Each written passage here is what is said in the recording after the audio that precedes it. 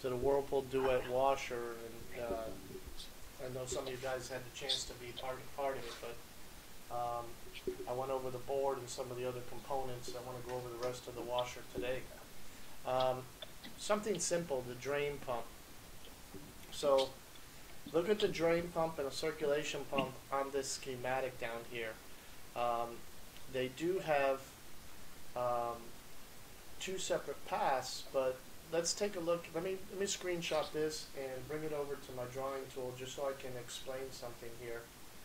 Um, part of troubleshooting is not just knowing how to read the diagram, but knowing, like, if it's in a specific circuit, um, you know, why, why do they do that circuit specific way, and then how do we test it? So let me just put this diagram here for a second. So here's the diagram. They call this a strip circuit. This isn't the whole machine diagram. The whole machine diagram, um, I'll go back to the first page here, it is, is this mess here. And this is the whole wiring diagram. And, and one thing you can see we talked about is everything on this machine connects directly to the board, whether it's 120 volts or it's low voltage. Um, they're all going to be connected to the board and all these connectors here. So if we look at this drain pump here, that the drain pump and the circulation pump, notice it goes to J11.2, J11.3, J11.1, J11.4. All of the pumps are on the same plug. And the drain pump, they put two blue wires, and the circulation pump, they put two red wires. Um, so let's just say we turn the washer on, it fills with water, and now we want to recirculate. What does a recirculation pump do in a washing machine? What is its function? Anybody know what, what the what the recirculation pump does? I mean, obviously it recirculates the water, but what does it physically do? Why do we have a circulation pump in the first place? Not a lot of machines circulate the water; they just wash the clothes in a tub of water. What what are the benefits of recirculation?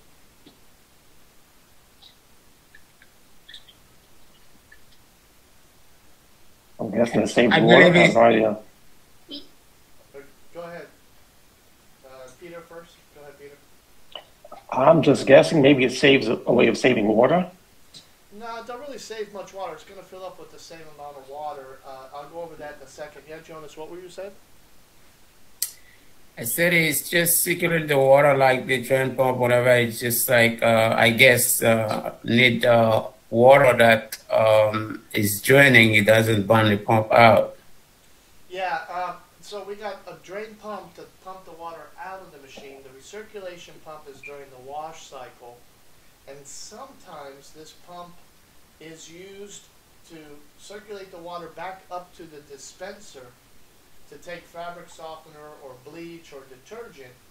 As the machine's washing, the pump will pump water back up to that compartment and that compartment will help wash the detergent or the bleach out. Now, some of these machines, and I'm going to show it on this diagram, they have a separate pump just for the dispenser on some models. Now, most machines, when they dispense, they use the water valve. And you got a hot and a cold water valve like any other washer, but then they got another bundle of valves. And one is for bleach, one is for fabric softener, one is for um, detergent, um, the circulation pump can do the same thing. The machine will fill water, and while it's washing, the circulation pump can circulate that water back up to the dispenser and wash out anything in the dispenser. Now, what a lot of people don't know is when the machine's filling with water or dispensing, um, a lot of manufacturers try to run the water over the glass door so that the customer can see inside that doesn't build up with soap and dirt. That's just a, a, a little caveat thing that, you know, little things you need to know. Um, the drain pump is only to take the water at the end of the cycle. But I highlighted the circuit for the circulation pump. I'm going to highlight in a different color and a different size uh, pen. This is the path for the drain pump. Now, the reason why I'm pointing that out is because when you're troubleshooting, you know, I don't want anybody to go into a machine and say, okay, it's not draining. I'm going to go check the pump. I'm going to tear the whole machine apart, go down to that pump, and I'm going to check that pump and see if that pump's good. Yeah, but we can check the pump from the board. But before I even make any tests, notice that I got two different circuits highlighted, one in yellow and the other one in the light blue. Okay? What can you tell me if you go to a customer's home and the customer says, uh, my drain pump's not draining the water. So you're going to turn the machine on and you put it in a wash cycle first to fill up and you see it circulating the water across the glass door. You know it's not the water valve calling for water because the machine had already filled up and it's already agitating and the circulation pump is working. Can we use that knowledge to help us troubleshoot the machine? And how would we use it? I would say yes, um, because um, out of two things you might think, um, it's already eliminated one of them. So now it's just like um, your focus um, should be like um, toward more like um, the pump. Because if it circulates the water, though, you know, that means it works. Right? Yes, uh, and I think you're correct, but what I was trying to get at is, if we look at both of these pumps, both of them require the main relay to be functioning, right? And if the recirculation pump is working, what does that mean about my main relay? It's good or bad?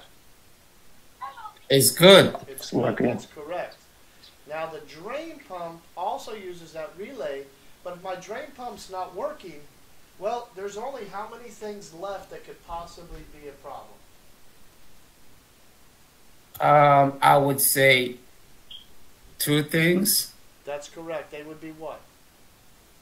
One would be um, the drain pump. It's uh, it's uh, not as bad. Okay. And what else? That means like it kind of like um, receive power, but I mean it doesn't drain. well, And the second, it may not be getting power, right? that's that's a possibility as well. And what would cause that? Um, that's a good question. I mean, it's honestly even though it's grounded, it could still receive power. So um, I'm not too sure there. Look what I highlighted. On, I circled on the board. The drain relay. Uh, but Yes. sir. they are on the same circuit, right? Uh, no, the circulation pump goes through its own relay.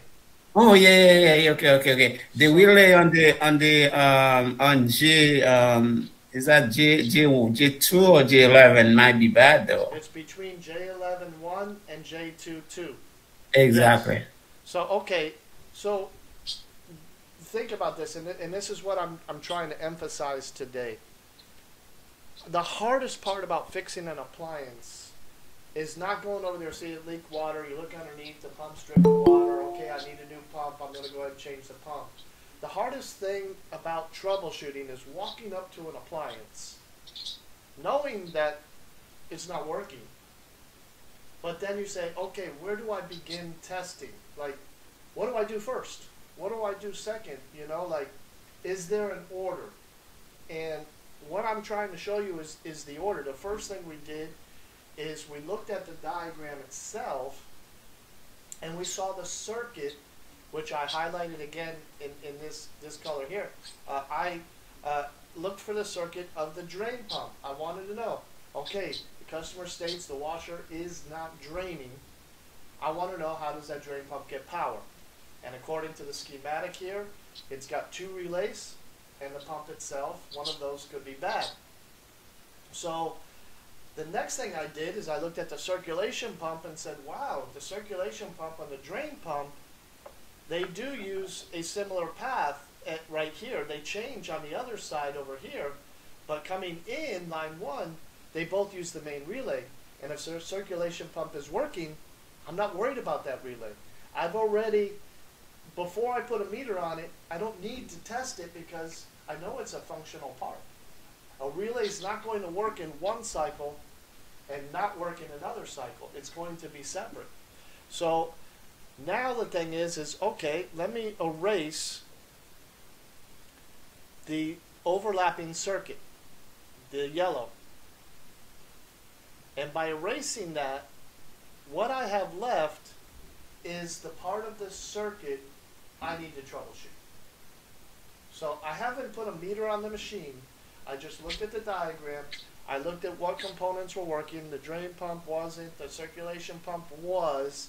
I looked at how power flowed through that diagram for each part.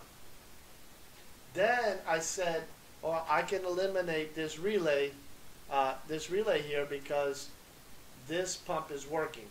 So now it's either the drain pump or the drain relay. So now we have to make our plan of attack. What test do you think would be the next test as well as the easiest test to make?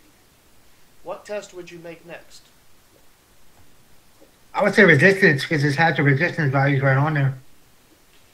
Well, Mike, we don't like to use resistance a lot because what if the drain pump had a sock or underwear or something caught in it?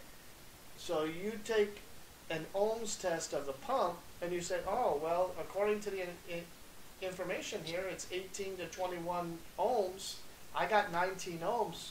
It's good. I'm going to order a board. That's not accurate though, because I would it could be mechanical. Yes.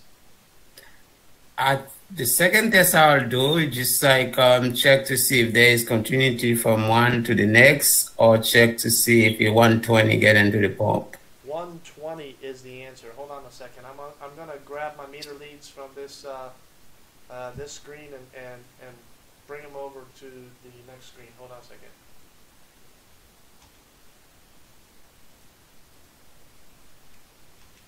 So now I got my meter leads. Voltage is the best way to test. Great, I got guys cutting my lawn right now making a noise while I'm recording. Uh, voltage is the best way to test. Where would you make that voltage test? J11 2 to J11 1. Very good. So you're going to put one meter lead on J11-2 and one on J11-1. Now, am I going to have power there all the time? No. No. So what do I need to do to assure that I have power? Because if you are running the washing machine, the drain pump doesn't run until the end of the cycle. The drain pump is not going to run all the time. So we need to, one, if we're going to check voltage to the drain pump, we need to know that the machine itself should be setting power at that time. So what needs to be done in order to make that voltage test? It would have to be running. You have to be running, but you have to be running in diagnostics. Um, let me open up the uh, PDF here. So if you look here, test number eight is the drain recirculation test. Check for obstruction usual areas, check drain pump here. Um, visually check the connectors are okay. I mean, that's just something you do for everything. Remove with an ohm meter, measure resistance. This is a waste of time.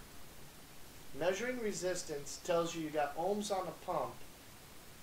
I don't know, how many pumps have you guys changed? A few? A lot? A little? Quite a few. Okay. And ones that had their own motor, what do you think went wrong with that pump? The the winding in the motor burned out?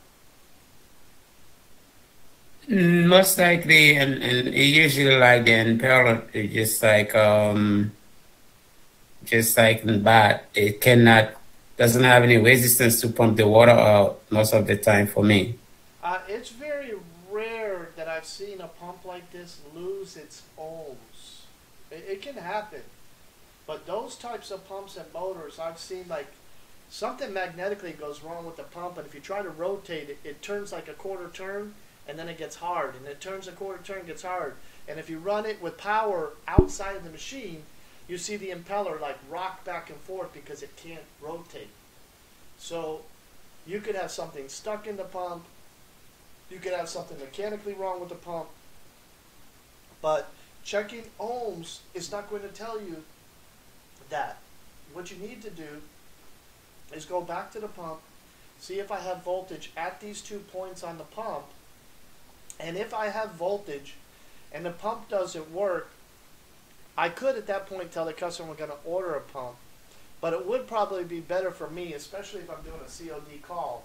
I'm going to go down and check to make sure that there's nothing blocked in there. So what would you do after you check for voltage? Uh, would you go straight down to the pump and um, just start taking the machine apart to check it? What things can we do before we tear the machine apart? If you have voltage we um, go into the pump, it doesn't work. So probably the pump could get to a point it's trying to run, but if there's a bobby pin, pin in there, it would not run. So therefore, you would have to take the wire. Um, I believe, um, like you said earlier, if you check um, uh, resistor on it, it's not going to do anything. So I would check to see if there is not a instruction that stop um, the impeller to just turn. Okay, well, yeah, the checking restriction is important, but I want to do something more before I go down to the machine and take it apart. How about taking a small wet dry vacuum, take the drain hose out of the pipe, out of the wall, connect the two hoses together, your vacuum to the drain hose of the washer. Because if there's something like a sock or underwear caught in the pump, and you try to use a vacuum on it, it's going to restrict sucking that water out. Now, water may come, but it's going to be hard for it to come out. Now, if there's no obstruction at all, you're going to suck the water out of the pump, and that's something that you would probably want to do before you open the machine, anyways. Because if you take the machine open and the drain pump's not working, it's probably filled with water. And then when you want to go check inside the pump for something, if it, the machine's filled with water, it's not going to uh, be any good. You're going to flood the house if you if you don't take care of it. Have you guys ever heard of hose pinch off pliers? No, for me. I'm going to show you guys a tool. Hose pinch off pliers. Look at these tools right here. I've worked on a lot of Frigidaire product. My company is factory authorized for Frigidaire, and one year they notified me and told me, "Hey, man, um, we have a rework. We need you to replace the drain pumps in all these units." And I was doing apartment complexes and, and some of their commercial stuff. So they sent me over a hundred drain pumps, and I had to go apartment by apartment changing drain pumps. Now the thing is, is when you go apartment by apartment, it's not that hard to change a drain pump on a stack unit. You just take that front panel off, and the pump's right there in the corner. But there's always going to be some water in the machine. You can take a vacuum and try to suck the water out with a vacuum, but that may not work too well, especially if it's in a closet and you can't get to the drain hose. So these pinch off pliers here, um, they go between the washing machine tub and the drain pump and they squeeze the hose. And in doing so, you can remove the hose and the drain pump and replace the drain pump with the machine with a full tub of water. Now, I recommend you have two of those pliers and not just one. Um, so that way, if one happens to slip, it doesn't slip while you're changing the pump and all the water comes rushing out. But these pinch off pliers make it easier for you to take the pump off while the machine's full of water. You don't have to drain it. So they are definitely a, a must for someone's toolbox, and they're not that expensive. Now, they have some, you want to, when you purchase them, you want to make sure that they have long enough jaws because some of these front load washers, the drain hose is pretty big. Now, they make them like this one right here. If you can see the, the length of these jaws here are longer than some of the others. If you don't have the right length, you won't pinch off the hose completely and it'll leak water when you're doing it. So that's just a tool that I wanted to bring to your attention. So the drain pump, if I have voltage here, the problem is at the pump. I just want to confirm now it's not any obstructions. And then if there's no obstructions, then obviously I have to change the drain pump. What if I don't have voltage at J11 and J2 with the same problem that we had? What would you do?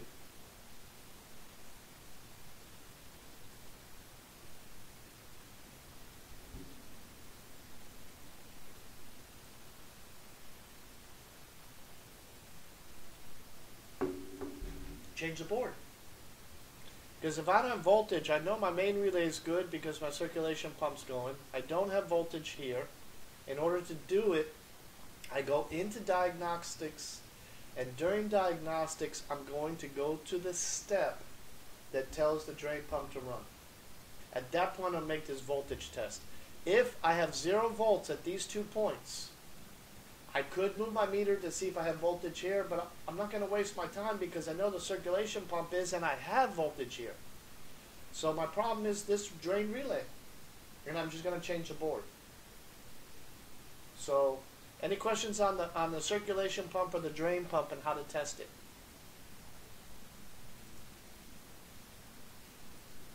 All right. So let's get to the heating element.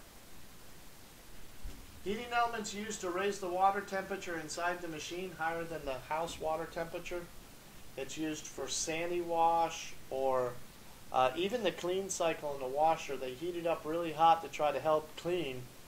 But one of the most important things about the sani wash is that the sani wash, um, it will like right now with everybody with COVID and all these different colds and stuff. Gotta give me a second. There's lawnmower guys driving around. Okay, um, it's supposed to reduce germs. Okay, yes, using bleach will help, but also hot water helps out a lot besides getting out stains. So if we look at this heating element, we got two relays here. We got a main relay and a heater relay, and then we got this neutral heater relay. So we got a relay on both sides of the heating element. So just as, as simple as the drain pump, if I wanted to check this heating element out, what do I do? What's the steps?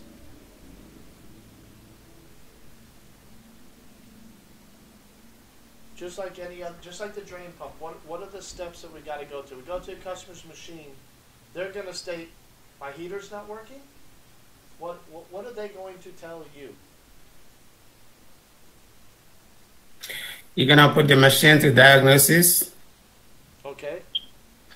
and then you check um, to see if you have um, a 120 going to that um, heater. Okay. So let's just uh, screenshot this one here and take it to the other diagram. We won't spend a lot of time on this, just I want to go over some more complicated stuff, but let's move this one up. I'll put this diagram here. So we're going to do just like we did with the drain pump. Uh, let me just put this to the back. So we're going to check here and here for voltage. If I have voltage and the heater is not working, I'm not going to waste my time with ohms. One thing we have to be careful, and the same thing with the drain pump, I didn't say it. If a wire is broken or frayed or cut, and we have voltage there, and I go and change the pump, and it still don't work, we need to make sure that the wires are there. Um, so if we do this heating element, we want to go to diagnostics. If I have voltage, this is where an ohms test would be good on the drain pump as well as the heating element. Let's say I go to the customer's house, and I'm going to go back to the drain pump for a second, I'll go to the heater. And I say, hey, I have voltage here and here. That tells me my relays are working. My drain pump is not. My drain pump's bad. Yes and no. What if I got a broken wire? I can also do an ohms test from here and here, and I'm looking for 18 to 21 ohms, but there's a problem. If the wire is broke, am I going to get an ohm reading? No. No, you won't. If the pump is open, am I going to get an ohm reading? Nope. No, No. sir. So an ohms test from here doesn't tell me my problem is my pump or problems are my wires. So if, if I was here, I'd be a betting man and say it's a bad drain pump. Because wires very rarely break even though it does happen. But before I install the drain pump, could I go down to the machine, put in diagnostics, force that drain pump to get power, and go right to the pump itself for power? say, yeah, I got 110, I'm going to change the pump. No, I don't have it. One of my blue wires are bad. You can do that, or maybe use a cheater cord, just like bypass it and to see if the pump gonna pump. Yeah, you could do that too. A cheater cord's good too. And that's the same thing with the heating element. If I go here and I got 120 going to my element at J32 and J31, that's good. But again, I could be a wire or an element's bag. Now with this heating element, let me uh, bring up this other page. With the heating element, it has a, a thermistor right here, wash temperature sensor. So the sensor's there to tell the control board what the temperature of the water is. And it's based on resistance. If you look here, in this chart up here at the top, it's telling you if it's 140 I don't know what that 60 is. Hold on one second. That I've never seen.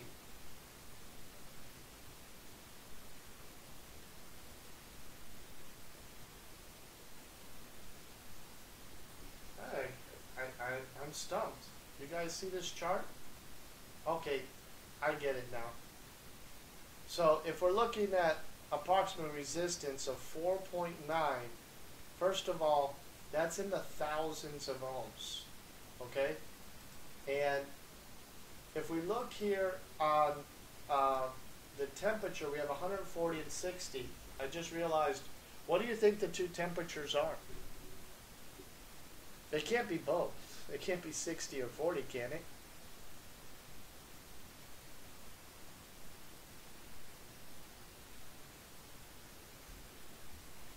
That's Fahrenheit and Celsius. I think at 60 degrees um, Celsius, let me see something. 60 degrees.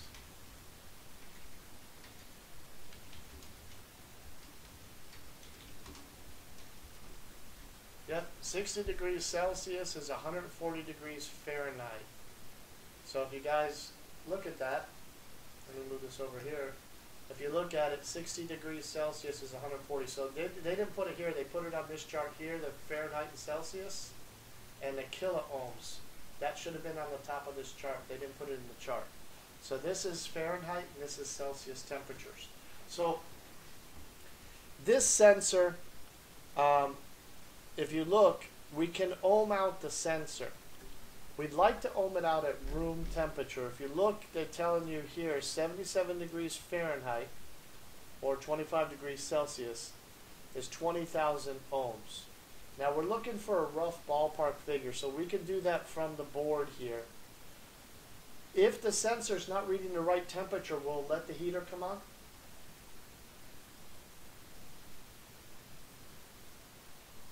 No, you want tweak. Okay, it's depending on what the actual problem with it is. If it's shorted or something, it might not let the, the, the machine go through a cycle. If the resistance value is off, in other words, it's 20,000 ohms at 77 degrees, and if you look here, here's 77 and 20,000. Well, what if I'm getting 197,000 at 77 degrees? It's not going to let the heating element come on. It thinks the element's temperature is hotter or colder than it should be. So we can ohm it out, but we're looking for this in a ballpark of 20,000. What if it's 22,000? Eh, it might not be exactly 77 degrees. But the other thing is, can we check voltage on this sensor? Yeah, yeah. Yeah, let me just screenshot and take it to the other page here real quick. Now remember, every single one of these items I said in the beginning can be tested from the board. So let me just put this one here. Uh, send back. So let me bring this to the front. So I would check here on this board, what voltage am I testing and are my meters correct? My meter leads to make that test. The meter reads are correct, and um, I would just check for 120. Not 120. Look at that dial. Oh diagram. no, no, 5 VDC. My bad. 5 VDC. Okay, so going back to my question, are my meter leads correct? No, the red has to be on the uh, J15 one, and the black has to be on J15 three. Why? Because the voltage. I remember from last time. Yeah, because you've got a plus and a minus. With an analog meter, it's very important that you have your meter leads on the right points. On a digital meter, if you put them on wrong, it'll just show minus 5 volts DC instead of 5 volts DC. So digital meters are a little more forgiving and let you know that whether or not the board's sending power. So if the board's sending power 5 volts and you get about 20,000 ohms, everything there should be working. If my heater's not working, my sensor is not the problem. We have to go back to the heater circuit. So there's a lot of thermistors in appliances, and a lot of people, they go and something's not working. Uh, even my techs, they order every thermistor in the entire refrigerator when, when it's when it's got a problem. Does it need every thermistor? No. You just need to know what thermistor is the problem so you can troubleshoot it. But you got to know what each thermistor function is. And this sensor is to sense whether the machine's filling with the right water or not. So I'm, I'm not going to waste much more time on that sensor, it's just here. Uh, I'm not going to talk a lot about this. This is just a dispenser that uses the water valves to, to dis- dispense detergent, bleach, and softener. This machine here has pumps. So it has a detergent pump. Now, not all machines have that, but the detergent pump is to help wash the detergent. When, when you use powdered detergent, the water temperature has to be at least 60, 70 degrees. If you're up north and you're hitting, you know, zero degrees outside, and the washer's in the basement at, at 30 degrees, the detergent will clump up and it won't dissolve well. It needs hot water to break that detergent down. That's why we recommend customers use liquid detergent over powdered detergent. But with this detergent pump, that increases the pressure trying to wash the detergent into the machine and help break that detergent down so it washes better. It's more pressure onto the compartment than just the water valve itself. So I'm not going to go over, there's a fabric softener, detergent pump. I'm not going to go over them too much. But they do have these sensors.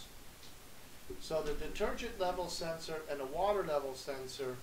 Um, so let me let me take a look and just read this now. Perform the following checks. Save the customer's detergent or softener in a spare container. When the reservoir is empty, you should hear the float moving up and down. When the reservoir is rotated, if stuck, thoroughly rinse the reservoir with warm water and fill it fill it with water to test the floats. So if you're looking at these two devices here, the, the detergent level sensor or fabric level sensor, they have floats in them. And if we zoom in, I'm going to zoom in on it a little bit more. Those hoses go to these boxes right here, which are the pumps. But the pumps have also a switch inside of them that if there's no water, or, or not the water, but actually detergent or fabric softener in the dispenser, it won't let the pump run. The pump knows there's no detergent, no fabric softener in there. So those two switches here, uh, let me get back to the diagram. These two switches here, that's a symbol for a float switch. Um, they're the same thing like in a float in a toilet bowl where they go up and down with what's inside the dispenser. That's just so that the machine knows whether whether to run that detergent drain pump, I'm sorry, detergent dispenser pump or the fabric softener pump. Um, we can ohm them out from the board and we can also check voltage at this point here from the board. Um, when will I have 5 volts on this, this softener circuit? When what happens? When it's When it's energizing? Not when it's energizing. Yes, it has to be energized to have 5 volts, but... Diagnosis mode. And what'd That's the say? fill. What'd you say, Jonas? I said you would have to put in diagnosis mode in order to get a 5 volt DC in there. Well, it, it, it could be in the wash cycle. What'd you say, Mike, before I go over the answer? I would say it has to fill. It, it'd have to have detergent or fabric softener in the dispenser because if you look, that's just a switch. And you cannot check voltage across a switch that is closed because this is positive 5 volts DC here. Well, if it, this switch is closed, all this is is a wire and a switch. It's going to be positive DC here too.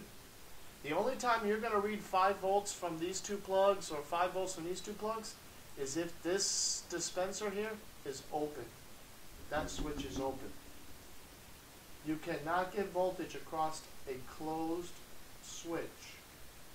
And what that means is, let me show you here. I have to screenshot this. And I can get my tool to open here.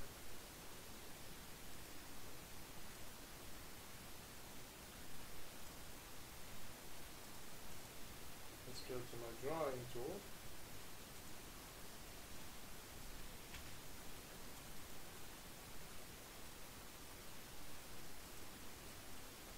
Okay, let's move all these out of the way here. So, oh, this is the one I want. Move this up. Okay. So let's look at this detergent here. I want to check voltage. So I'm put meter lead here and meter lead here. If this switch is closed, this is all one side of the circuit. The only way you can check voltage on a circuit is there has to be a load. A load is a sensor with resistance. A load is a drain pump with resistance. Or a load is a heating element. A switch is not a load.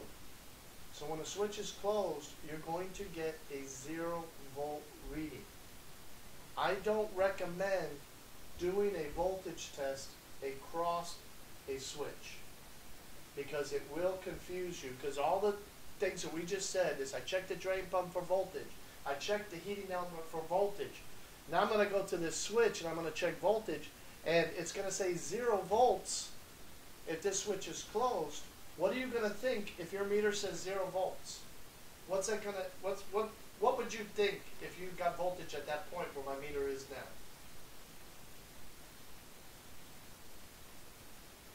You think the The component is bad. you think that no, you think the board is not sending power. You would think the board's not sending power. Because if this switch is closed, this would be a positive 5 volt CC. This is going to be positive too. Now let's go to the diagram for a second. I'm going to go back to the very first page of the diagram and I'm going to copy it and I'm going to take it back to another page. Sorry guys. So here's the diagram. I know it's not that clear. I can get a clearer one, but let me see if I can find um, the two switches, the dispenser switches.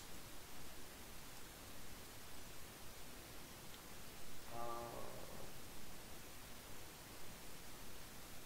I don't see, I see door switches.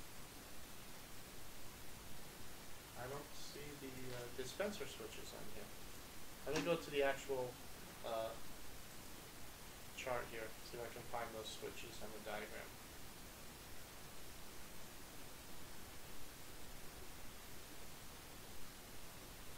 If I can find a wire diagram. Let me get this, so this is gonna be a lot clearer for you guys to see it. I'm gonna go to the top here and see what page is the diagram. I don't see it.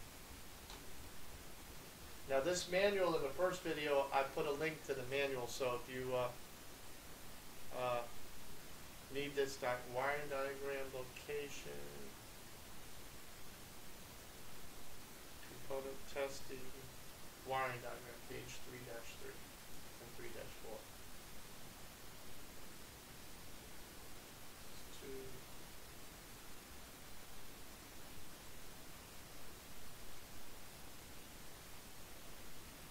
Okay, so here's the diagram So we got two machines here. We have a Maytag and a Whirlpool. They're the same manufacturer. I'm looking for the switches that we were just talking about. Does anybody see them on the diagram here? I see one.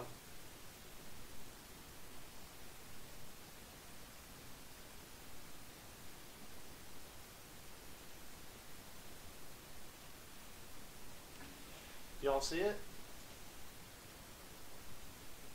Is it on the top left? Yep. Okay.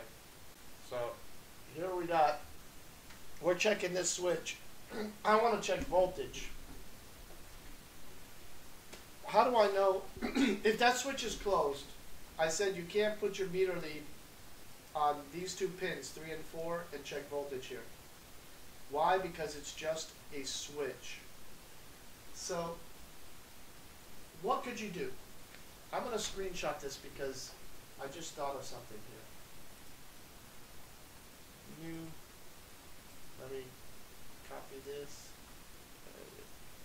Copy, let me bring up my other program. And here it is. I want to know voltage.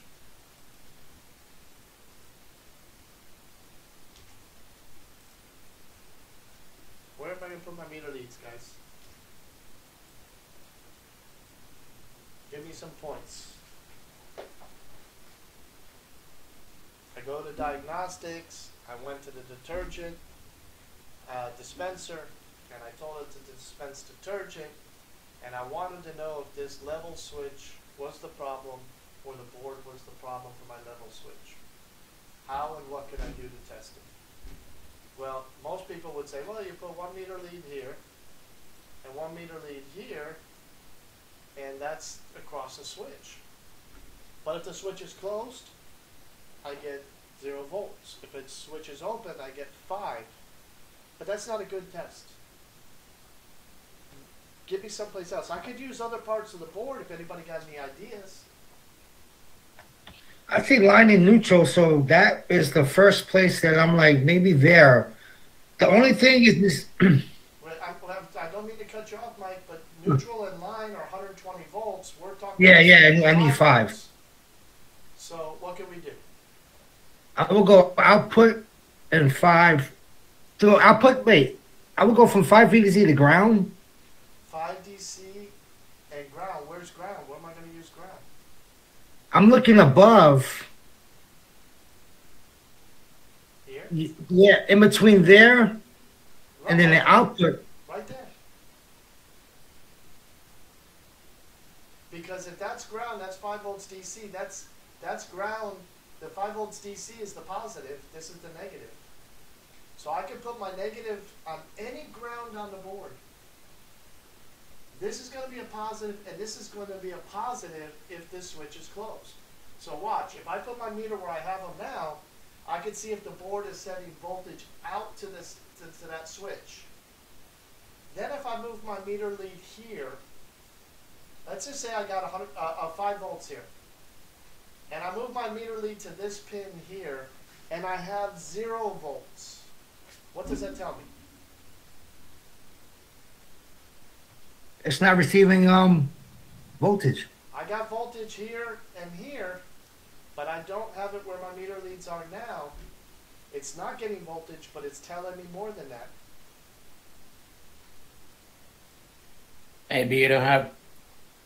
The switch is bad. Switch is bad. I got power going to the switch, but it's not coming back. I should have 5 volts here and here as well as here and here. So I don't need to ohm out the switch. Can I check that switch out for voltage? Yes. I said earlier, I don't like it if you check a switch for voltage. That's confusing. Well, if you put the red meter lead here and the black meter lead here, that's not a good test. But if I'm using ground on the board, and I can use any ground, and put it here, yes, I'm going to have a positive and negative. I'm going to have 5 volts. And if the switch is good, I'll have 5 volts here. If the switch is no good, I'll have 5 volts at, at pin 4, but at pin 3, I have 0. Do you guys see how I'm using voltage to make that test? Yes, Rick, I got it. Any questions on that? Uh, no, please, I don't get it. Okay, well, let's let's just take a look at a diagram for a second. A simple diagram. Okay, uh, you got a line, a switch, a light bulb, and the other side of the circuit, right? Mhm. Let, let's make this a DC circuit just for understanding, right? So this is positive, 5 volts, and this is ground.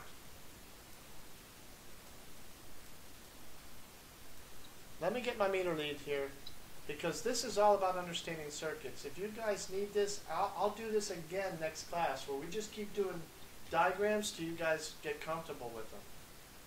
But if I go here and I go here, what's my uh, voltage reading right now? It's gonna be zero because you have an open line there. No, it's 5 volts. Where my meter lead is, is where it would connect to the board or to the power supply. When we look at a diagram, we look at those two lines up there, that's power coming in. If I showed you a stove diagram, uh, hold on one second. If I showed you a stove diagram, it would be the same thing. Uh, give me one second here, I got diagrams here. Uh, let's say Frigidaire range. I got a diagram right here. I'm gonna open it up. Give it a second. Okay. And we're going to rotate it clockwise. No, I want to go counterclockwise, but okay. So if we look at this diagram, look here.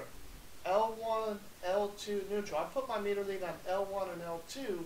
I'm checking the power coming in. L1 and neutral. I'm checking the power coming in. L2 and neutral. I'm checking the power coming in. That's the same thing on my diagram. I'm checking the power coming in. So right here I have 5 volts. Follow me there? So wait, um, you, you lost me there. So basically, if you are, if you was going to check the light bulb, that's that's when you go, you're not gonna have um, voltage there because If I put my meter here and here, the answer is I don't No. have voltage. Okay, that's exactly what I thought. Okay? But I'm not checking that there. I'm checking here and here coming in. Oh, okay, got you. Okay? So going back to that di- dispenser circuit, it's just a switch. So what happens when I put my meter lead here? What's my reading now? Five, 5 volts. What if I put my meter lead here?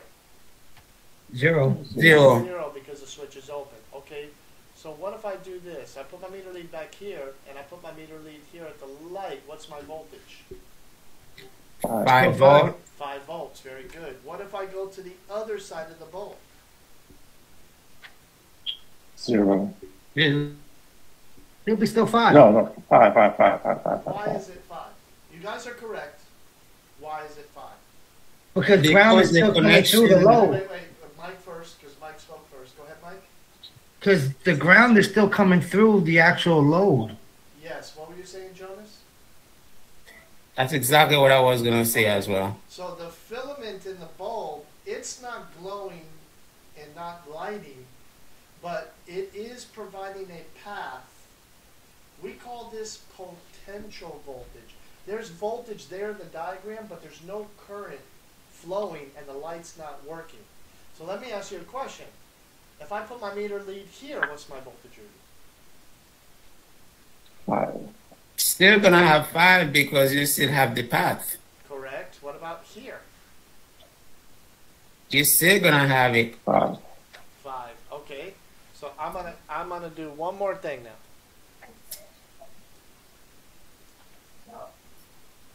I'm going to erase my switch.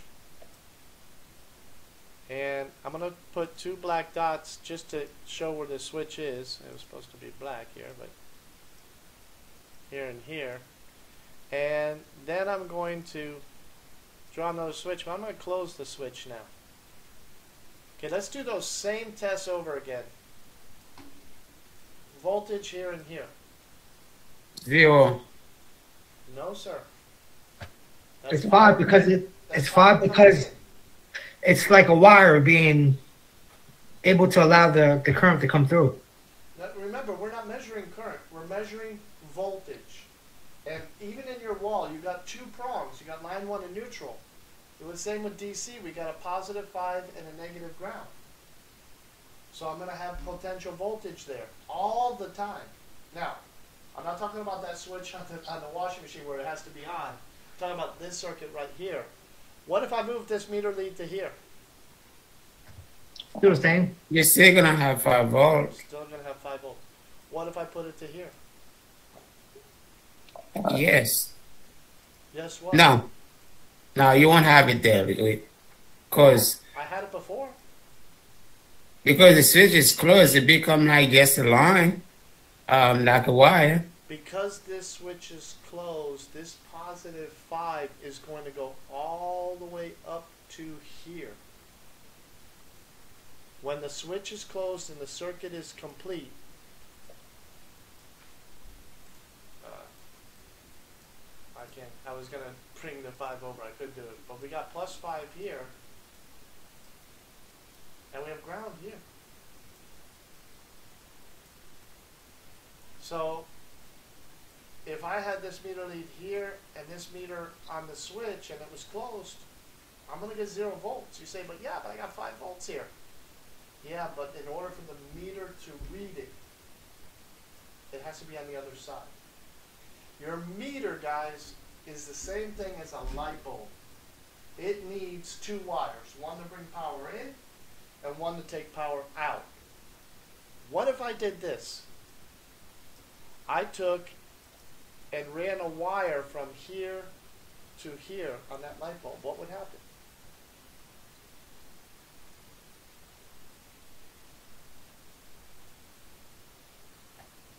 I think the light bulb should still function. It will not. No. You create a short there, weak. I create a short. Mm, Now look, nice. here's a series circuit. One light bulb,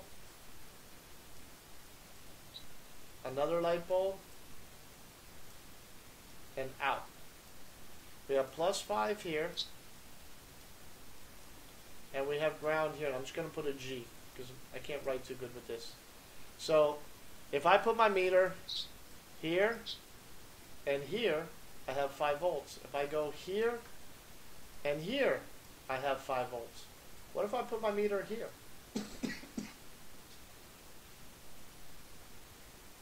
You don't get nothing now. You just like you become.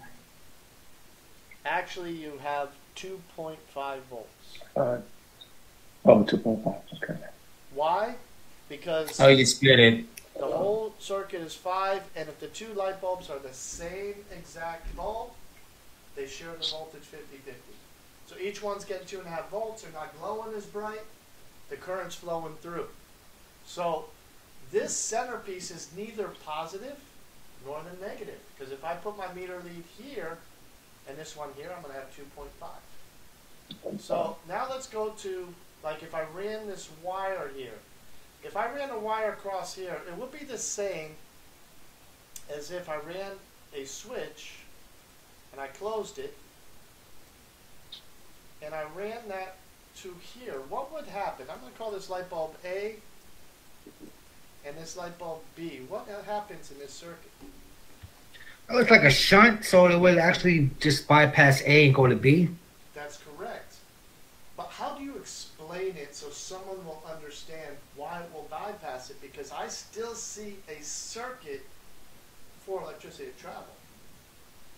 You're right with the term shunt. You're right it won't work. But how do you explain it to someone who doesn't understand it? That it's going to have a different function time than B would. Well, what if I did this? I'm going to erase this so I can capture that plus five. Uh, here. What do I have right here? Do I have positive, negative, or neither? Positive or ground? Positive. It's continuation of this, right? So I, mm-hmm. oops, let me see.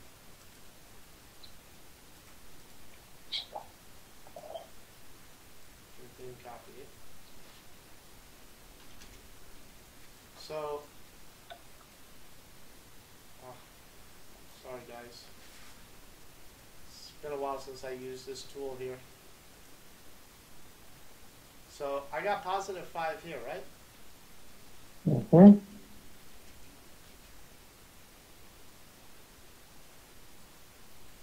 What do I have at this switch right here? Positive, ground, or neither? Neither. It's positive five, it's an extension, Positive. right? It's the extension of the first one, yeah. It's just a piece of wire. If you went to an outlet like this, I have it from the previous lecture. If I have an electrical outlet and that small one is power, um, if I stuck my finger inside that little hole, I'm gonna get shocked, right? What if I added a piece of wire, stuck a piece of wire in here, ran it all the way to here? If I touch the end of this wire, am I gonna get shocked? Yep. Yeah, because it's it's it's a piece of metal. It's going to carry the voltage. So if we go back to this diagram of the light bulb,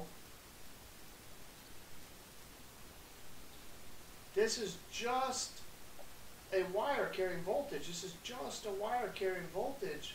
I'm going to have plus five there.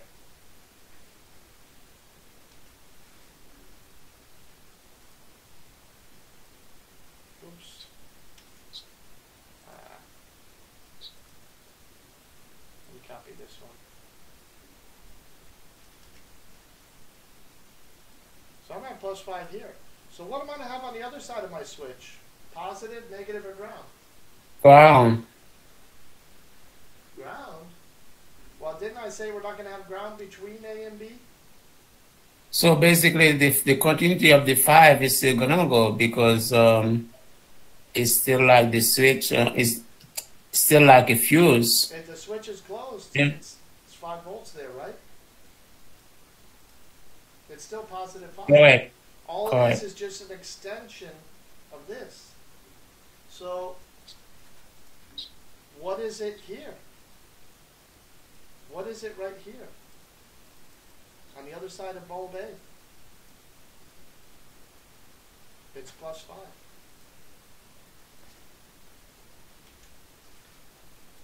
This is all an extension of the plus 5, all of it. And my ground is where my black meter lead is, right? But my plus 5 is here now. Am I going to have A working with two positives and no ground? We said I said at the beginning, in order for a load to work, I have to have line one and neutral or positive and ground. And light bulb A, if we looked at the diagram that we just said, it's positive on one side of the bulb and positive on the other side of the bulb. If it's positive on both sides, the bulb's not going to work. That is an explanation of why doesn't the bulb work when the switch is closed. Because all the switch does is it carries the positive over to the other side. Now the bulb has two positives. But once I open that switch, this 5 disappears, this 5 disappears, and this 5 disappears. This wire here is an extension of this. So your ground is where the black meter lead is. Your positive is where the red meter lead is. But this is in between. When electricity flows through a circuit and it sees both light bulb A and B, it does not know hey, I got two light bulbs, I gotta go through two. It looks at it as one big bulb. Because if we were to measure ohms on this circuit, and let's just say this bulb was 20 ohms. Let's just say this is 20, and this is 20. What's my resistance with this circuit? 40. 40. 40. So the bulb looks at it as one load. It doesn't know that there's a piece of wire in between. It just knows it has to force electricity through 40 ohms and not 20 ohms. And when I close this switch, if I measure ohms here and here, what's my total resistance? 40?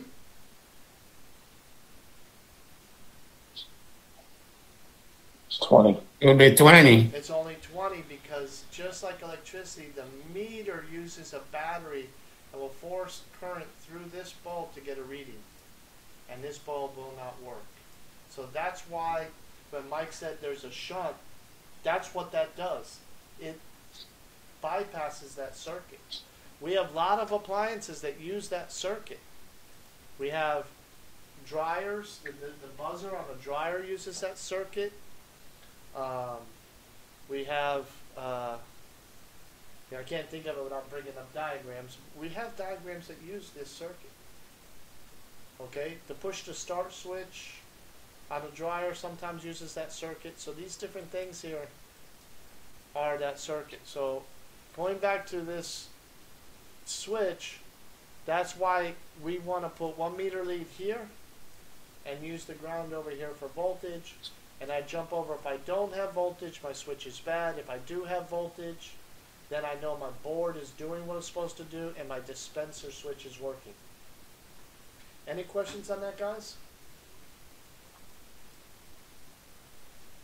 All right, let me just, we're running up on the hour. Let me just go through the manual real quick and see if there's anything else important on this diagram that I want to show you. Here's the washer manual. And let me go back to the components. Okay, so here's the motor. Here you can't really check voltage. This one here you can ohm out the motor. And if you look, we have between pin 1 and 2, we have between 6 and 20 ohms. Let's just say I get 8 ohms. Is that a good reading?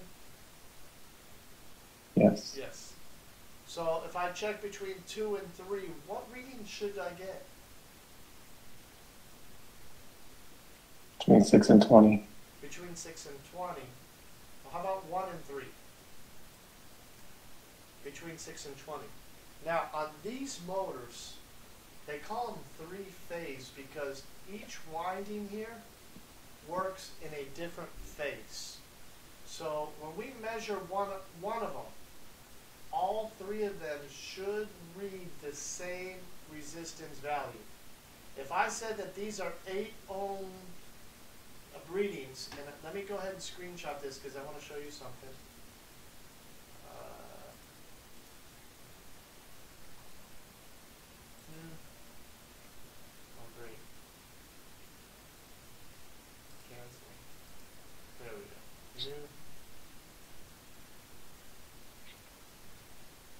Edit, copy. Let's see if I can trick you guys. I'm gonna, I'm gonna see how, how much attention you guys are paying here. Here, and I'll bring the meter lead in for a second. And let me go back to one page.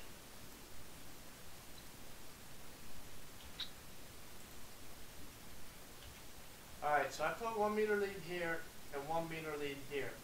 I'm checking and my meter tells me I have 8 ohms of resistance. Here to here.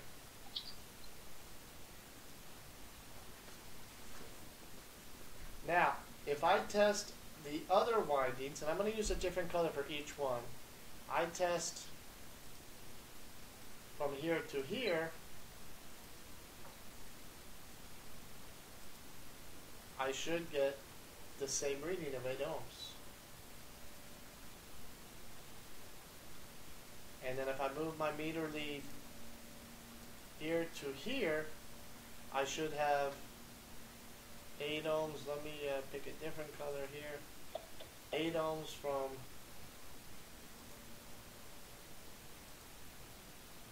this one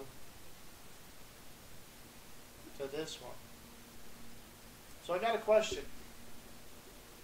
There's how many windings do you see in this in this motor? Three.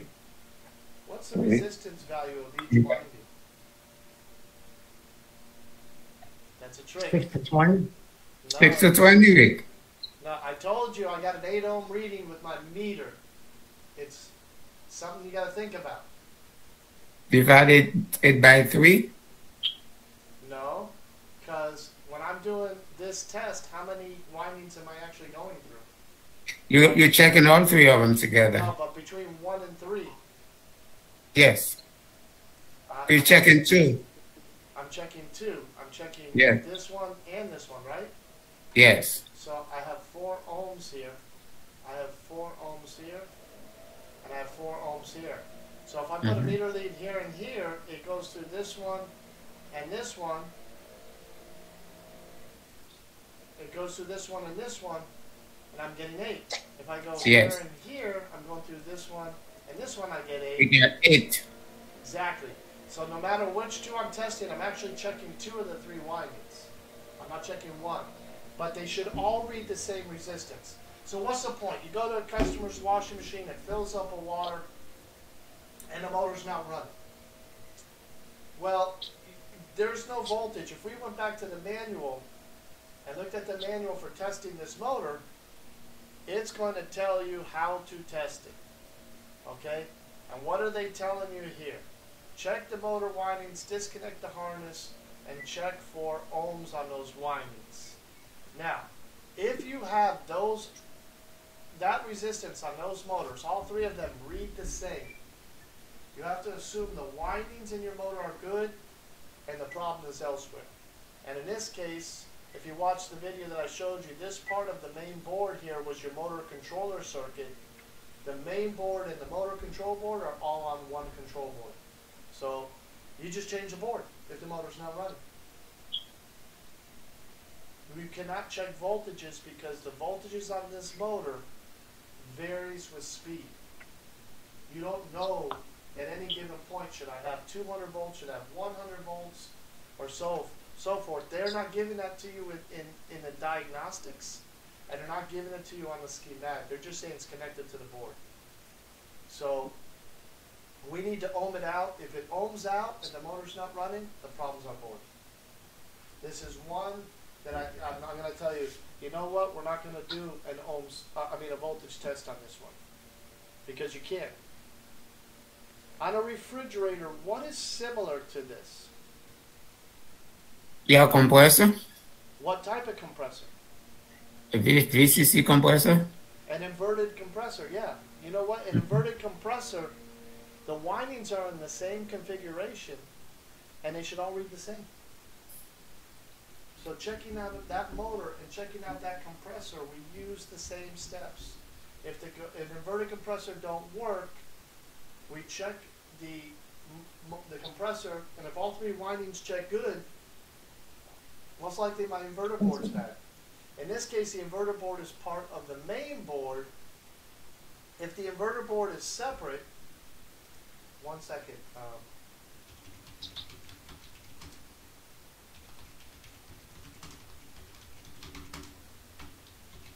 I'm looking for something here. Give me a second here. I got it. Let me get a picture. Uh,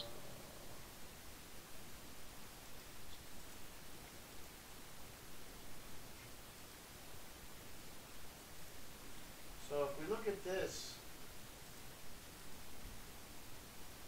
oh, I can't, I can't, I can't put it here. I gotta put it here.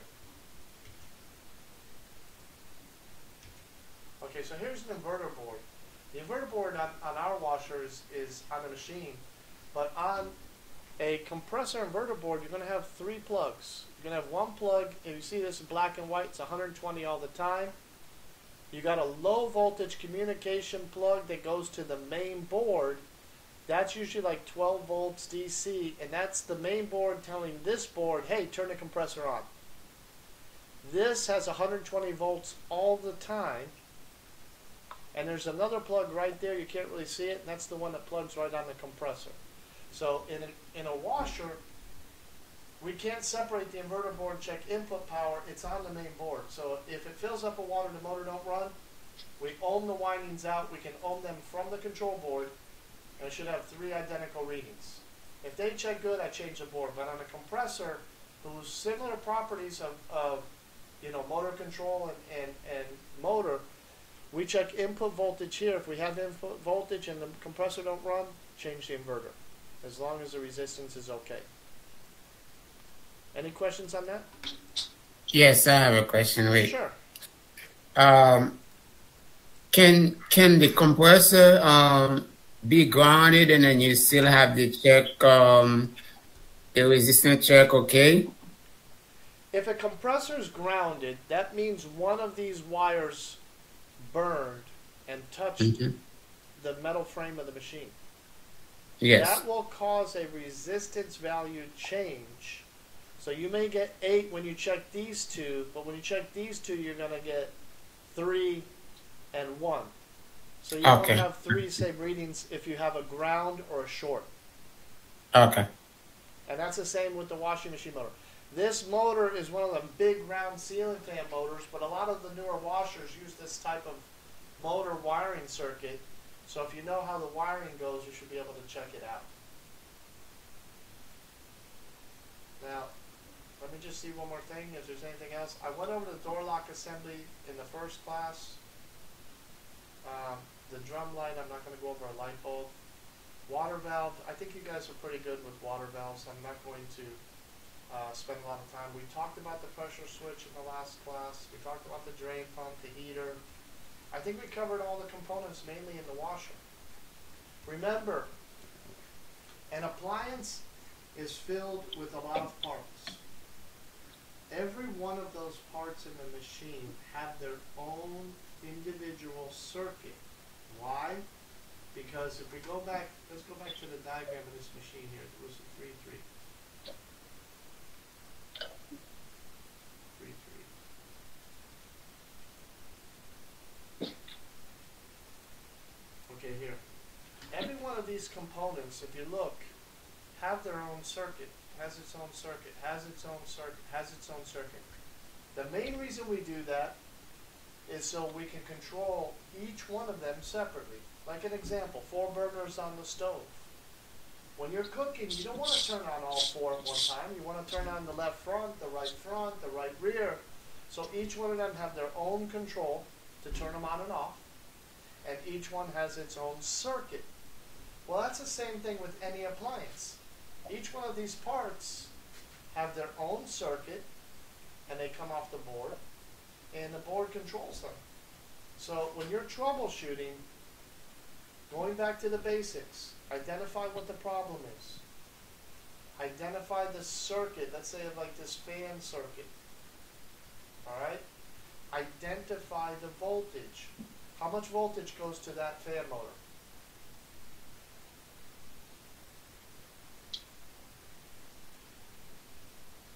I cannot see Rick. I don't know. Maybe 12 volt DC. How, what do I have highlighted? Oh, line neutral. So that's how much voltage. Oh, right. But by the way, I found out detergent level switch was over here.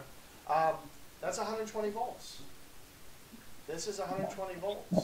This is 120, unless they specify ground, DC, v, DC, VDC, line neutral, 120 volts, 120 volts. So each one is its own circuit. So when we troubleshoot, we try to narrow it down just to the circuit that's not working and only check the parts that's in that circuit. I hope that makes sense. Yes, sir. Got it. Any other questions before we go for today? Because it's 1.15 already. We normally go about an hour. But I don't mind answering any questions you guys have. If it's not about the washer, it could be about anything appliance related if you want to ask. All right, Rick. I have a question. Sure. Thank you. Um, I have a question about a compressor. Um, can like um a three and one burn a compressor? Yes. Hold on a second. think that Brandon and I were talking about one of those the other day. Uh, someone had a question about a three in one kit. Let me, um, let me bring up this three in one kit here and show you guys something.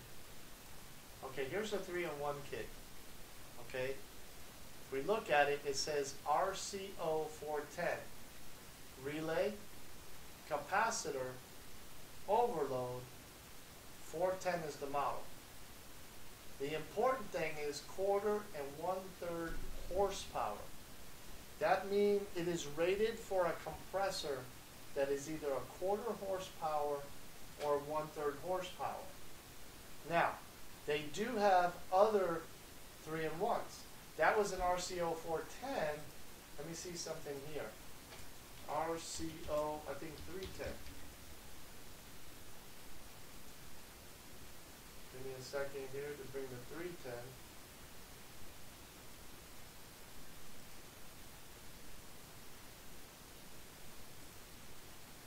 I want to find that for you here. Okay, so this is, no, that's 410. I, I typed 310 in, but it came up 410. Uh, but they have different 3 in 1 kits rated for different um, compressor horsepower. Does anybody know why?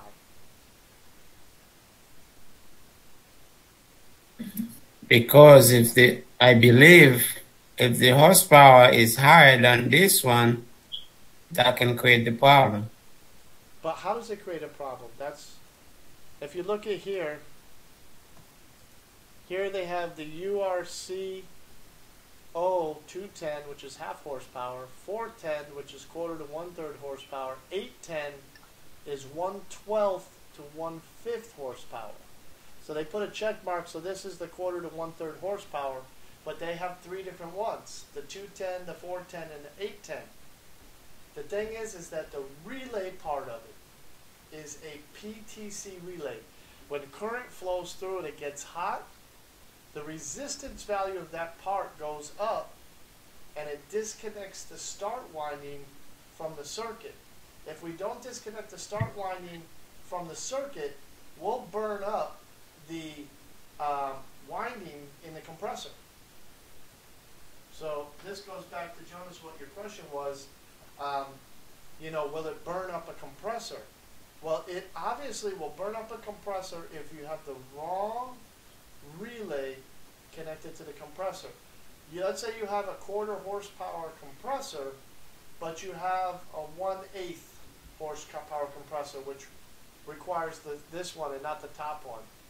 Well, it may take the start winding out or drop the voltage to its some, but there's still current going through it, and it's going to burn out the winding in your compressor. So a lot of refrigerators do not tell you what your horsepower rating is. How do we figure that out? How do I know what the horsepower rating is on my compressor?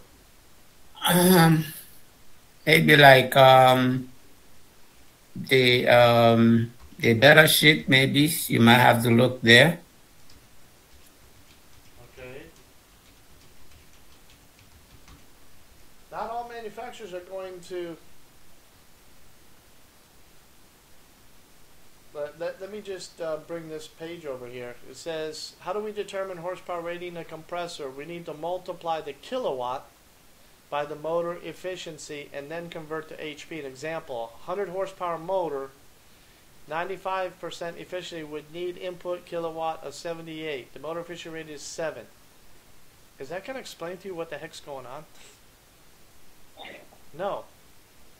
So you could measure the ohms, determine the voltage, and figure out the amperage, and by then you could figure out the wattage that that compressor runs, and convert wattage to horsepower because wattage is basically horsepower. So it's going to be hard because it, it isn't straight up math because you see here they're talking about efficiency and kilowatts which is thousandths of a watt um, you need to know which one is going to do so i have three and ones in my compressor uh, on my on my my technicians' trucks. So if they run across a bad relay or a compressor is not working, and they say, well, how do I know if it's a relay or the compressor? The relay don't check good, but I don't want to order a relay and come back here and find out the compressor is not working. So I tell my guys, go ahead and install the 410, and if the compressor runs, leave it on the refrigerator, but order the factory relay and overload. Do not leave these on there, even if they match the horsepower rating. I have seen customers' compressors burn up after being used with the 3 in 1 kit. Does it mean the 3 in 1 kit caused it? Not necessarily. It may have been uh, going bad because the relay went bad and the compressor couldn't start till you got there and was slowly burning it up. But um, you could leave it on there and order the right relay and overload and come back and replace them with the proper component. That's my Alrighty. recommendation. Okay? I feel I feel guilty. I feel like sometimes some ty- type of guilt. I usually um like I went to a call about a month and a half ago. Um, they have like um a GE refrigerator. Then he has the relay went bad on it.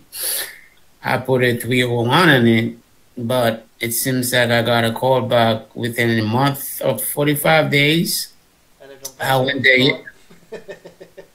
I went there yesterday. The compressor um ohms okay, it's continuity everything, but when I check it, the ground is grounded. So And that Uh, probably happened if it wasn't sized for the right compressor and it burned the winding over a I- period of time. I told the customer it was uh, the compressor was on his last leg because when I was there, the amperage of it was two ohms, um, two amp. Well, what you could do is, is tell the customer, listen, I could probably get this compressor running with a 3 in 1 kit, but because your relay went bad or whatever, your compressor may need to be replaced. This is not a permanent fix. If you want, I put the 3 in 1 kit here, the refrigerator's running. I cannot guarantee how long it would last. If I was to order a compressor, this is what I would charge to install the compressor. If I put the three in one kit now, maybe I give you a discount if it fails within 90 days. But after 90 days, if the compressor fails, you have to pay the full full cost. You know? Well, I didn't communicate that to the customer well enough. Um, I don't know, but because the fridge was like um, was um, in the storage for a couple months before I even moved to Florida, so therefore um, it probably um, sitting on the warehouse wherever they store it before they move it in. That's how there was like both fan um, evaporator fan was fell on that fridge as well. yeah, but you don't know if that compressor was even working before they brought it to the home. That's exactly. I don't know. I I don't know. So, uh, well, that's the only thing I could recommend. Anything else, guys? Any, any of you guys have any questions before we uh, tighten up? I got a quick question. I had a um, water dispenser, um, ice maker wasn't working. Um, checked it for water. Water came through the water filter, and um, What, what, what the motor was working. I heard. What, I'm sorry. Be a little bit more specific. Working through the water filter means what? Um, the water I pressed the two, um, took out the water filter, pressed the two uh, knobs in the water filter, and the water came out. So I concluded it wasn't frozen in water lines. Um, replaced the um, water valve, and then the water dispenser came on. I mean, the, the water started to flow for the water dispenser. So I told the customer that um, just give it some time, and the the ice uh, maker will start making ice. So I got a call, uh, text saying that um, the ice maker is not working. It's not getting ice. So I'm saying either was turned off. This is my conclusion. Tell me if I'm wrong. Either the controls, you turn the control off for the ice maker, or the um, um, forgot the other thing I was thinking. What brand is this, Peter? Yeah, I mean, to me, that's the only conclusion. It's a um, Electrolux. Okay, so you know that if they have a filter inside, they have two sets of water valves, one before the filter and one That's after it. the filter. Not with this carpet and this. The reason why they do that is so that the customer can change the water filter without having to pull the fridge out, shut the water off behind the behind the fridge. Okay, so Okay. if you think the ice, uh, if the filter was bad, you wouldn't have water coming out the door, which you said you got water coming out the door. But it's not going up to the ice maker. Correct.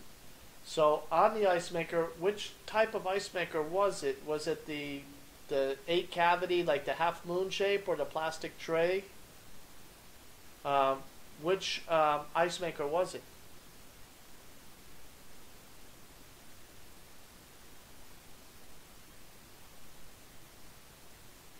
Um, trying to remember. Because if it was the flex tray, Say that again. was it the flex tray, like the plastic Oh. tray ice maker, or the I believe so. Okay, because at that point I would go to diagnostics and I would I would force the water to go into the ice maker through diagnostics. Okay. I would put my voltmeter on the first water valve. Well, wait a minute now. On on on the first water valve is not a problem because the first water valve, um, you said the water in the door is working, so the first water valve is before the filter. Now the second water valve is the one that tells it after it comes out the filter, is it going to go to the ice maker or is it going to go to the door? All right. So it comes in one water valve, flows to the uh, filter. If you guys give me one second, I'll bring up something here. I think I have something here on under my appliance books and modules, refrigerators. Let me look at Maytag refrigerator. Um, let me just see something here. It did have three valves. The water valve, three separate ones. All combined. Okay, it's not okay. So look, look, look at this picture here. So in a typical ice maker, water goes into the water valve, goes through the filter, and into the ice maker. If you look here, we got two water valves. The water comes in, that water goes to Mhm. the filter, and if when the filter Mhm. goes back to another water valve, that water valve shoots up to the ice maker or shoots water to the door. It goes to a tank in the refrigerator that stores the water, get it cold, and it goes to the door. So, what I want to do is I want to check this valve here, and I want to put my voltmeter on the second valve, and I want to go to diagnostics and see if that valve is energized to bring water to my ice maker. If that is, the next thing I want to do is I want to take the hose off of the water valve, put the water valve over a container, and see if water shoots out this valve. Now, is water coming in this valve? Yes or no? Okay. Um, the only water valves that I was aware of, there were three separate at the in the back of the fridge. Yeah, one coming in instead of double, and then two going out. Like the one on the right here. One in and two out. So when you look at the water valve, you'll see three solenoids. They're just drawing the two of them separate. Okay. Yes. But here's your three solenoids. Right. Right. But my question was, Right, is right, water right. coming into here? And the answer is yes. Why? Because on the water on the door, it goes here, right? So what I tell people is like, hmm, I, I don't know how to go into diagnostics on this refrigerator. I'm not going to be able to put it in the diagnostics. Watch this. I'm going to show you something here. I know I'm going way over time here, guys, but I don't mind doing this. Edit, copy. Watch this. So here it is right here. And I know water's coming in here because it's going out to the door. So I want to know if water's coming to the Mhm. ice maker. Well, it could be a voltage problem. Okay. Could be a solenoid problem. But in order for water to go to the ice maker, I have to energize the valve on the left and this valve. They both have to be on. Now, what if I took the plug and I'm just gonna, you know, there's a plug on this solenoid here and there's a plug on this solenoid here. What if I swap the plug? What if I took this plug and put it on this one here? What would that do for me if I disconnected this plug from the water side and put it on the on the ice maker side? What would happen? What do I have to do? How could I use it? It's, it's going to energize the ice maker, the water going to the ice maker. When? What? When when you um try to uh, put a test on the ice maker to see if it works. No. What I'm saying is that you don't know how to do diagnostics, for example. If you unplug the water on the door and you move that plug to the ice maker's side and you go over I got it. and push on it, instead of sending power to this solenoid, it's going to send power to that solenoid. And where's the water going to go? Going to the ice maker. Got What it. if Ice maker. still don't get water? Ice make well. Hmm. Most likely this It's not valve is water. Okay, well I replaced the valve though. A brand new water valve. Well, did you check voltage to it? Because what if it's frozen right here at the delivery tube where it goes through the wall? The biggest problem we have on refrigerators, believe it or not, is ice makers and dispensers. They are our number one problem, besides compressors on some brands. But um, if a water valve gets debris inside of it, when it goes to shut off, like you use the water and then you turn it off, if a little bit of debris gets inside that rubber disc on that valve, the valve won't Mhm. seat and it'll cause water to drip into the ice maker. And that dripping will cause your delivery tube to freeze up. So how would you know if the water valve's good? If I took this hose off of the valve and I switched the plug over here, I should see water coming out of it. If I don't see water coming out of it, then I know my problem's here back. But if I see water coming out of Right. it, I know it's this hose to the ice maker, and most likely it's frozen in the wall where I can't see it. Right. But doesn't it go the but but if that okay. But if there's water coming through the water filter though, Yeah, but water. wouldn't, would that mean that it's, it's not frozen? And it goes to here, but the water filter's in the fridge. This is in this is in the, the top of the freezer where the ice maker is. Okay. So it'll freeze, but the water on the door, it, it's not going to freeze because it's not subjected to that temperature. Except for GEs. they have the water freeze on the side by sides all the time. and that's the hose in the Okay. So it's okay. So it's frozen, basically you have to um, either turn the temperature down or, or um, unplug the refrigerator. Correct? Well, I do know. I think Electrolux has a kit. It's like a little bit of an electric heating element and insulation that goes around this delivery tube Mm-hmm. and plugs in somewhere up in the ice maker compartment that adds a little bit of heat to this tube so it does not freeze. But if it usually freezes, Okay. it's usually because the water valve doesn't shut off completely and it drips a little bit because it's got debris in it, and that'll also Mhm. cause freezing. Okay. So Okay. sometimes it's the valve when it freezes up. Sometimes it's just the design. And like I said, I think Electrolux has a repair. Uh, it's a, a a delivery tube heater kit. Hold on a second.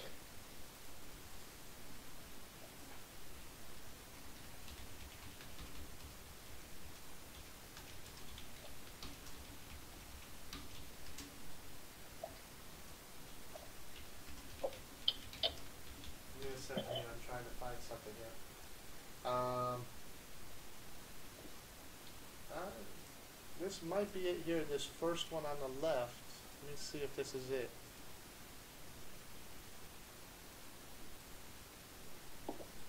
Dispenser Take a heater picture. kit. That's a dispenser, but I think that piece is not clear. It looks like the delivery tube with a heater around it. So they don't say what that is. Let me see if I can find another one. Defrost heater kit. No, I, I, I don't see it here. Ice maker fill tube heater. Place dispenser, ice maker, filter, ice box fascia, and ice box assembly. that looks like a a First, whirlpool. we need some force. similar thing. There are three locking So I'm just gonna go real fast to show you what the what, what I'm talking about with the kit. So to install the heater. Align the tape So this wraps around that tube and applies heat to it to prevent it from freezing up. So you might have needed that. Okay. Okay. Okay. All right. Thank you. All right, gentlemen. Well, uh, we went over a little bit, but I don't mind. Uh, appreciate you coming, and I'll go ahead and post this on the website. I'm, I'll, I'll put it in the paid site as well as the free site. But the next class will probably be Brandon and I. I gave Brandon a little bit of time off and told him, you know, enjoy the weekend, and I'll do the class. I don't mind doing it. And uh, hope you guys have a good weekend.